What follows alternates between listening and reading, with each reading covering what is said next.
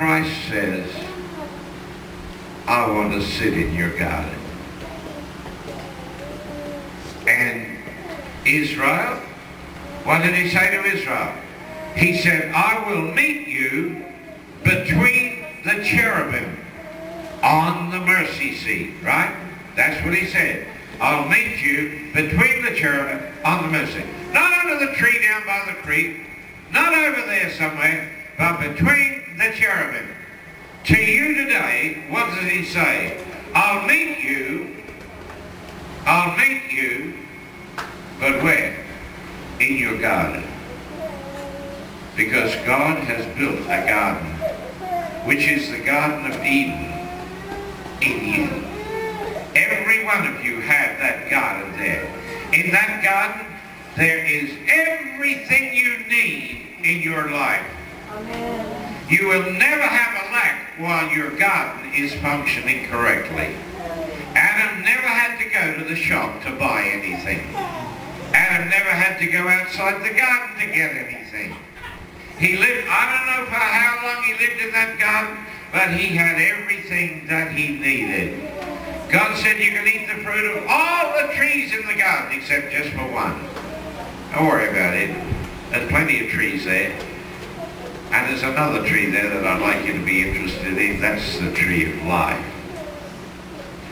So, a garden enclosed in my sister, my spouse.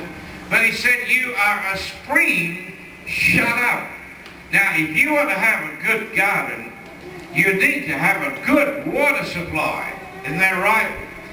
In Brisbane and uh, the southern or the inland part of Queensland, just over the mountains, we've had a drought for five years. And the dams that supply our water have gone down and down and down and down until we had very severe water restrictions. We weren't allowed to wash our motor car with, with the hose. We're not allowed to hose our garden. We're not allowed to use excess water. We had to put a timer on our shower so that when we bathed at night, four minutes, no more, we had to save water. Well, we've had some heavy rain since then and the dams have started to fill up a bit, so it's not quite so bad. But you see, if you want a good garden, you must have good water supply. But he said, you are a spring shut up. Why is that? The water supply for your garden that's going to keep all the trees functioning, and even more than that, I'll tell you about in a minute. He said you're a spring shut. The spring is shut up. There's nothing coming out of it. Oh God. When Jesus Christ was in the temple on the day of the feast, what did he say? If any man thirst, let him come to me and drink. And out of his innermost being there would flow a river. A river of living water. Do you know that out of the garden of Eden, there was a river that flowed out of Eden. And when it got on the outside of the garden, it broke into four heads and it watered the whole earth. Do you understand that? God's garden is in you. There's a spring in there, but it's shut up. God intended that that spring be open and that the water from your garden would flow out to water the world. In chapter 37 of Ezekiel, the, the prophet there saw a valley of dry bones. Just a great heap of dry bones. Why are they dry bones? Because there was no water. No one took the water of life out to them. They are out there today, beloved, out there in the world, there's thousands of dry bones. Why? Because our spring is shut up. The river is not flowing. Come on. See, we have been so orientated in the church concept. The pastor is the one that supplies the water. The pastor, you know, the pastor, they, they study the Word and they get the fountain working good and they are able to impart the living water. What about the people sitting down there? Come on, you've got to have the same river flowing. You are responsible to water the earth. And God has put a spring in you. I want to tell you, Jesus Christ is the fountain of the living water for the world. Oh Lord, in your garden there are a number of plants. What are they? They're all aromatic plants. You know what that means? That's an English word which means that everyone has a perfume. Perfume. In your garden, God has put all of these plants that have a beautiful perfume. What does a woman wear perfume for? Come on, some of you women, you must know. You, I'm sure you wear some perfume at least on special occasions. Why do you wear perfume? Well, I'm going to tell you.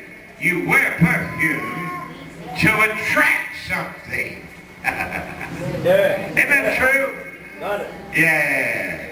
Somebody walks past oh boy, is that good. yeah. yeah, it was the perfume that got them. God says, in your garden, I have planted all the trees have a perfume. All the trees have a perfume. What for? So when you walk past somebody, the plants in your garden, the trees in your garden, will give off a beautiful aroma. And people say, "Why, there's something about that person. Something about that. Oh, it won't be just smell it'll be something that will catch their attention, just like the perfume does. When people say, I don't know, I've met a lot of people, but I haven't met very many people just like you. That's your garden. That's the perfume of your garden. And what does it, what does the woman say? Come now, north wind, Blow upon my garden, not too much now, just a gentle breeze. South wind, come and join, and let that breeze blow, not too strong, just let it blow, to blow the fragrance of my life over the wall of the garden, that others can smell the fragrance of my garden because Christ lives in your garden. He said to Israel, I'll meet you between the cherubim on the mercy seat. For you people today, for me, God says, I'll meet you. Christ says, I'll meet you in your garden. I'll meet you in your garden. Have you been looking after it? God say to Adam in Genesis chapter 2? I want you to take care of your garden. There's your garden. The Garden of Eden. Everything you want is in there. I want you to take care of it, and I want you to guard it. Why? Because there's an enemy that would like to get in there and mess it up.